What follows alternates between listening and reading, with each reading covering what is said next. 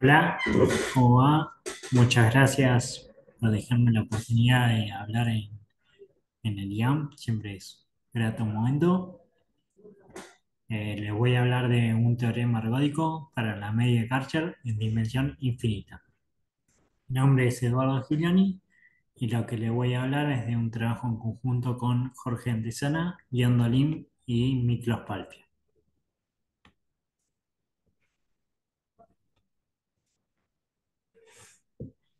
Primero vamos a recordar un poco notación. En esta charla vamos a utilizar la siguiente notación. Por H vamos a denotar a un espacio de Hilbert separable y complejo.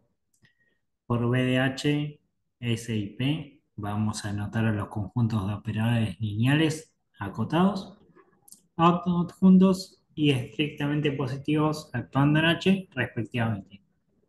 O sea, B de H es los conjuntos de operadores lineales, S los autoadjuntos y P van a ser los estrictamente positivos.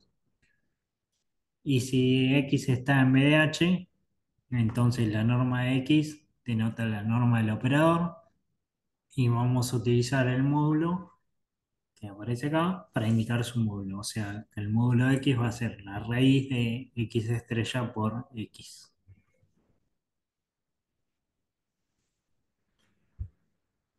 Cuando H es infinito dimensional, P, o sea, en este caso podemos hablar de matrices positivas, puede ser dotado con la siguiente métrica. ds, que va a ser la traza de a a la menos 1, diferencial de a todo el cuadrado, y esa traza a la 1 medio, que se puede calcular como la norma de a a la menos 1 medio, diferencial de a a la menos 1 medio, donde la norma es la norma 2, o sea, la norma Frobenius.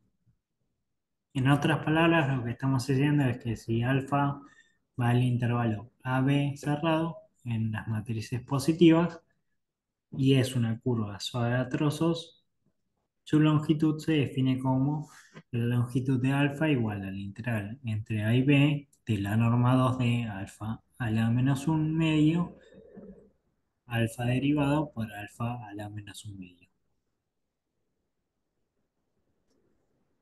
Esto induce una estructura riemanniana en las matrices positivas, en la cual la distancia entre A y B, perteneciente a la P, se define por la distancia, en este caso 2, de A y B, va a ser el ínfimo de las longitudes de alfa, donde alfa es una curva suave a trozos A con B. Y esta distancia se puede calcular con la fórmula que es la norma 2, o sea, la norma Frobenius del logaritmo de a la menos 1 medio b a la menos 1 medio. Interesantemente, la geodésica que une A y B tiene la siguiente fórmula cerrada, o sea, se puede calcular como a la 1 medio por, entre paréntesis, a la t, a la menos 1 medio, b a la menos 1 medio, por a la menos, a la 1 medio. En general en matrices eso se denota como A sostenido T de B.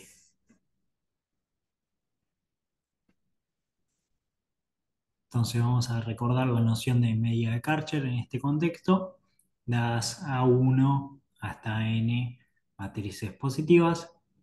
La media de Karcher se define de la siguiente manera.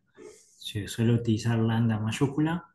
Lambda de A1 hasta N es el argmin o sea, el minimizador de las matrices positivas de la suma desde j igual a 1 hasta n de la distancia 2 todo al cuadrado de la j contra x.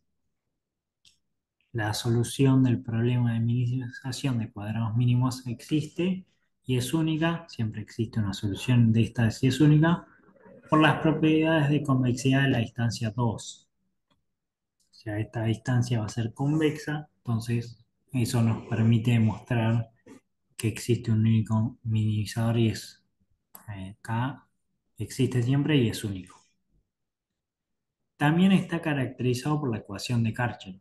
O sea, si tenemos un mínimo acá, si derivamos, lo que obtenemos es cuando el gradiente es cero, ese mínimo. O sea, si calculamos el gradiente de esto, sería la suma de j igual a 1 hasta n, el logaritmo de x a la menos 1 medio a j x a la menos 1 medio. Es igual a 0. O sea, lo que estamos diciendo es que la convección informe de la métrica riemanniana de 2, donde recordamos que de 2 entre A y B se calcula de esta manera, eso conlleva que la medida Karcher es el único punto crítico de la función que a cada x le asigna la sumatoria de la distancia 2 al cuadrado.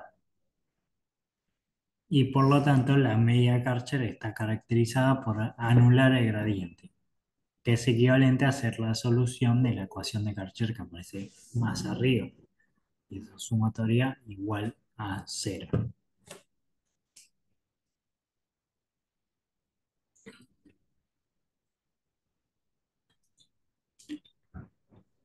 Un problema difícil es encontrar una fórmula cerrada para la medida Karcher. Es un problema que estamos también estudiando. Pero por otro lado, se intentaron encontrar maneras de aproximar esta medida de Karcher. Se encontraron varias formas utilizando, por ejemplo, las llamadas power means o medidas de potencia, pero una de esas formas es utilizando las medias inductivas. Entonces, para motivar esta definición, vamos a decir que da una sucesión a sub n con n natural de números complejos, tenemos la siguiente relación. Promedio de los tres primeros, o sea, 1 más A2 más A3 dividido 3, se puede escribir como 2 tercios de A1 más A2 dividido 2 más un tercio de A3. Simplemente simplificamos el 2 con el 2 y nos queda el promedio. Y en general, el promedio de A1 hasta N se puede escribir como N-1 dividido N de A1 más hasta A sub N-1 dividido N-1 y el término que falta, más 1 sobre N por AN. Simplemente simplificando el N-1 con el N-1. Y en general, si a este promedio lo escribimos como el sostenido, el promedio de los primeros tres números se escribe como A1 sostenido un medio de A2, sostenido un tercio de A3 y así sucesivamente. Vamos a hacer el promedio 4 y en general el promedio de n números. Entonces, en el espacio euclidio, los segmentos vienen a ser las geodésicas, por lo tanto, en nuestro contexto, podemos reemplazar los segmentos por las geodésicas asociadas a la estructura riemanniana que acabo de mencionar. Esta idea es la que nos lleva a la definición de medio inductivo. Da una asociación a sub n con n natural en h, las medias inductivas se definen de la siguiente manera. O sea, agarramos el primer término, el A1, y después en general el SN de la sucesión es el SN-1 de esa sucesión, sostenido a 1 sobre n de la n. Entonces, lo que puedo demostrar Holbrook es lo siguiente, que dada A1 hasta M matrices positivas, si definimos a la sucesión que tiene A1, 2 hacia hasta M y después se repite A1, 2, A3 hacia hasta M y vuelve a empezar A1, así sucesivamente, entonces el límite cuando n tiende a infinito de estas medias inductivas tiende a la medida de Karcher de esas matrices, desde A1 hasta M. Entonces, este resultado puede ser visto como un teorema ergódico en un grupo cíclico finito. Esta reinterpretación del resultado de Holbrook fue la motivación del siguiente teorema ergódico, que es lo que estudiamos en parte para mi doctorado. Pero antes veamos una idea de qué es lo que nos está diciendo este teorema y después pasemos al resultado que obtuvimos. Entonces, el teorema de Holbrook puede ser considerado de la siguiente manera. Tenemos ahí una rotación, en este caso racional, tres matrices, a 1, 2, a 3. Entonces, el primero sería la 1. Después hacemos sostenido un medio con el A2, que es este que está acá. Y eso sostenido un tercio con el A3. Y ahora, no hay más matrices, volvemos a empezar con el 1, pero hacemos sostenido un cuarto de la 1, sostenido un quinto del A2, sostenido un sexto de la 3. Y si continuamos este proceso, eso debería tender, o mejor dicho, tiende a la media de Karcher de A1, A2 y A3. Eso es lo que logró demostrar Holbrook. Entonces, lo que podemos pensar es que en el teorema de Holbrook estamos utilizando una rotación racional, porque tenemos finitas matrices. Si tenemos una rotación irracional, lo que estamos teniendo es A de G, rotamos irracionalmente con un tau, entonces tenemos sostenido un medio de A tau de G, y así sostenido un tercio de A tau cuadrado de G, y así sucesivamente, sostenido un cuarto de A tau cubo de G, y eso debería tender a lo que sería la media Karcher de esto. En este caso se va a llamar el baricentro de esto de acá, y eso es lo que logramos demostrar. Primero, mencionemos un poco de contexto de por qué existe ese baricentro. Decimos que una medida mu definida en un conjunto boreliano de P pertenece a P1 de P si para algún y por lo tanto para todo A que está en P, la integral sobre P de la distancia 2 de x a diferencial mu de x, esa es finita. Para tal medida definimos el baricentro de mu, también conocido como la media Karcher de mu, por lambda de mu, que es el minimizador de la integral sobre p de la distancia 2 al cuadrado entre a y x menos la distancia 2 al cuadrado entre a y b. Diferencial mu de a, donde b puede ser cualquier elemento que esté en p.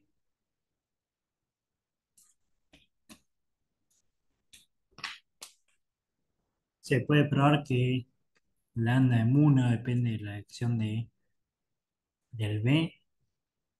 Y también se puede probar que A sostenido T de B es el baricentro de las medidas atómicas 1 menos T delta de A más T delta de B, donde delta de C denota la medida de probabilidad de masa unitaria en el punto C. O sea que en C vale 1 y en el resto de los valores vale 0. Entonces el resultado que obtuvimos es el siguiente. Sea G con la suma, un grupo topológico metrizable y compacto. Y en este grupo fijamos una medida de Haar M, una métrica invariante por el shift de sub G y consideramos un automorfismo ergódico tau de H que va a ser H más G para algún G que esté en el grupo. Luego, lo que obtuvimos con Jorge Antesana y Emeter Staujanov es que si tomamos una que va de G en P, tal que la medida mu de A, que es el push forward de la medida M, pertenece al P1 de P, entonces para casi todo A que está en G, el límite cuando n tiende a infinito de las medidas inductivas de A tau de A, eso tiende a la media o el baricentro de mu de A.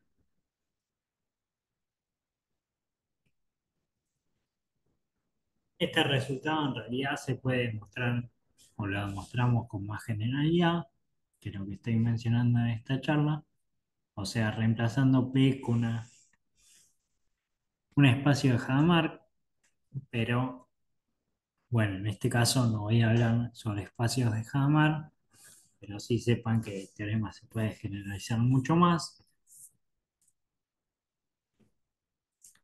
Y ahora lo que vamos a hablar es cómo este teorema lo pudimos reemplazar para ver lo que es la charla de hoy. Entonces, lo que vamos a hacer es cambiar la métrica. Esta convergencia se da en la métrica o en la distancia 2. Ahora vamos a hablar qué pasa si cambiamos con la distancia infinita, que sería la norma del operador. Lo que suele suceder es que si consideramos a P que está metida en BDH, la norma natural en BDH es la del operador. O sea, entonces es natural que a P lo consideremos con la norma del operador. Resulta que, que esta formación de lambda no es posible cuando h es infinito dimensional. En el contexto infinito dimensional, la métrica de P no es más do convexa. Por lo tanto, está lejos de ser un espacio Hamar o Carcero. De hecho, la métrica natural en P es una métrica de Fischler, donde la longitud de una curva suave a trozos, alfa que va en el intervalo AB en P, y A y B están en P, está definida como la longitud sobre alfa de la integral entre A y B de la norma del operador de alfa a la menos un medio, alfa derivado por alfa a la menos un medio. O sea, lo único cambio es que en vez de la norma 2 o Frobenius, ahora tenemos la norma del operador. Y esto va a ser similar al caso anterior. Entonces, usando esta definición de longitud, podemos definir la siguiente distancia. La distancia infinita entre A y B va a ser el ínfimo de las longitudes de alfa, donde alfa va a ser una subcurva suave a trozos con A con B. Y esta distancia se puede calcular con la siguiente fórmula. La norma del operador del logaritmo de a la menos un medio, b a la menos un medio.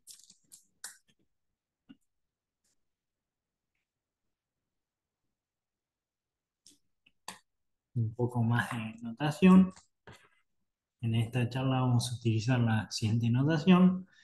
Denotaremos por PP a las medidas de probabilidad booleanas con soporte separable, sea tau aditiva, es decir, una medida de probabilidad tau finita, es sigma aditiva si solo si la medida del soporte es 1.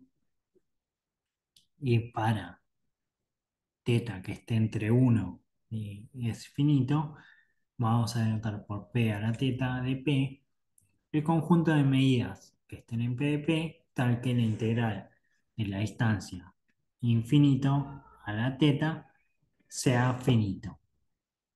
Para alguna, por lo tanto, para todo A. Observemos que el baricentro de mu, que será el minimizador de la distancia de la distancia 2 al cuadrado de A con X menos la distancia 2 al cuadrado de A con B, puede tener más de una solución si reemplazamos la distancia 2 con la distancia infinito. Eso pasa incluso en matrices. Ya en ese caso, si cambiamos la métrica, puede haber muchas formas de llegar de un punto a otro. No pasa como en el caso de la distancia 2, donde utilizamos la geodésica. Por lo tanto, el baricentro no puede ser definido de esta manera. Sin embargo, es posible definir la medida Karcher de una medida mu que está en P1 usando la ecuación de Karcher, que es la integral sobre P del logaritmo de A sub X diferencial mu de A igual a 0, donde el logaritmo de A sub X es igual a x a la medio por el logaritmo de x a la menos un medio a x a la menos un medio x. O sea, ¿qué es lo que estamos diciendo? En otras palabras, de infinito no es más 2 convexa, donde de infinito se calculaba de esta manera. Por lo tanto, no podemos utilizar la misma idea antes de hallar el punto crítico de la función que a cada x le asignaba la sumatoria. Sin embargo, sí podemos hablar de anular el gradiente, es decir, de la solución de la ecuación de Karcher. La ecuación de Karcher era la sumatoria de estos logaritmos igual a cero. Solamente que en nuestro contexto tenemos una integral en vez de una sumatoria y si multiplicamos por x a la menos un medio, perdón, x a la un medio de ambos lados, esto sigue siendo igual a cero, entonces no cambiamos la ecuación. Y lo que obtenemos es esta fórmula que aparece acá abajo.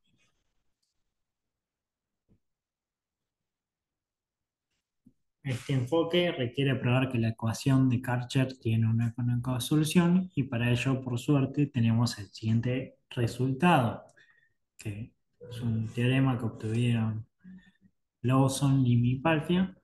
Si tomamos mu en P1, entonces la ecuación de Karcher, que es la que acabo de decir, esta integral igual a cero, tiene una única solución definida positiva, lambda de mu. Por lo tanto, este teorema nos permite dar la siguiente definición. Definición de la media Karcher. Para una mu que está en P1, la media Karcher está definida como la única solución, lambda de mu, de esta integral igualada a cero.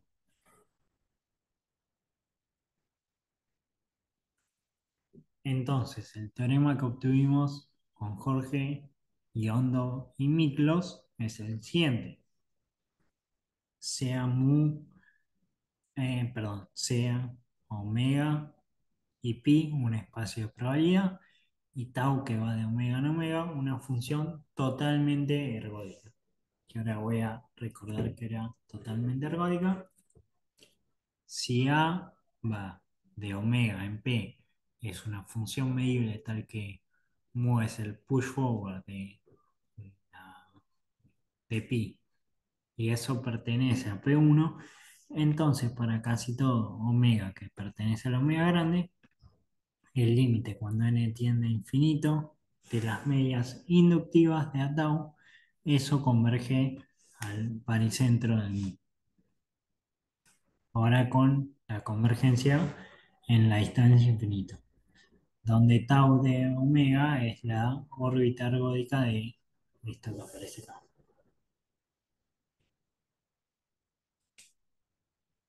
Este teorema se suele demostrar, o lo, pudimos demostrar con el, el anterior, que es primero para funciones continuas y luego para funciones en L1 usando un argumento de aproximación.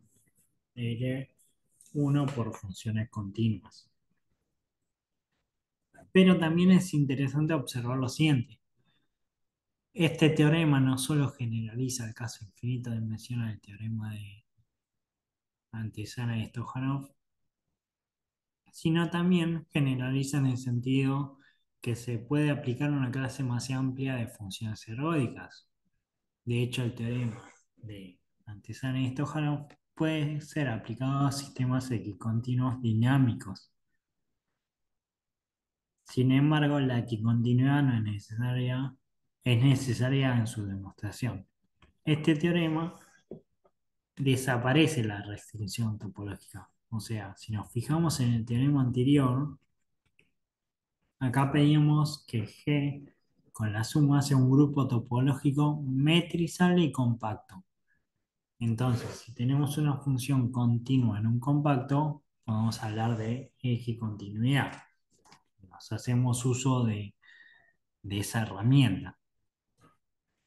Acá no tenemos restricciones topológicas. O sea, no estamos hablando de que el grupo sea compacto. Entonces, por ese lado estamos ganando. También estamos ganando que ahora se puede aplicar en distintos casos más generales. Entonces, para terminar la charla, voy a dar algunas aplicaciones o una aplicación de este teorema. Para ello, vamos a recordar nociones sea omega como un espacio de probabilidad y sea tau que va de omega en omega una función totalmente ergódica. ¿Qué quería decir eso? Que la función tau es tal que tau a la n es ergódica para todo n. Y recordamos que una caracterización de ergodicidad es la siguiente. Dados dos conjuntos A y B, entonces el límite cuando n tiende a infinito, 1 sobre n, de la sumatoria de k igual 1 hasta n, de la medida de tau a la menos k de A, intersección B, eso es mu de A por mu de B. La función tau recibe el nombre weak mixing si este límite es igual a cero, que lo que estamos haciendo es esto que está de este lado, pasarlo restando y aplicar el módulo. Y a strong mixing si esto que está acá adentro, o sea, la medida de tau a la menos k de A intersección B, directamente nos da la medida A por la medida B. Y es posible demostrar esta cadena de implicaciones, que strong mixing implica quick mixing, y eso implica totalmente ergódico. Y obviamente totalmente ergódico implica ergódico. Entonces, supongamos que x de n con n natural es una cadena de Markov cuyo espacio de estados es un subconjunto finito sigma de P. Recordar que esto significa que la sucesión verifica la propiedad de Markov, sea, la medida del xn más 1 es sigma de n más 1, con los anteriores solamente importa el anterior. Me importar todos los anteriores, solamente me importa el inmediato anterior. Y para todo sigma i, sigma j, que está en sigma, la cantidad p de j es la medida del xn más 1 igual a sigma j y xn igual a sigma i. Y eso tiene que ser independiente para todo n. Por otro lado, sea P la matriz de transición, es decir, la matriz tal que P de JI es P de IJ. Y supongamos que la cadena de Markov es regular. ¿Eso qué quiere decir? Que existe un n positivo tal que P a la n tiene todas sus entradas positivas. Esto implica la existencia unicidad de una distribución estacionaria.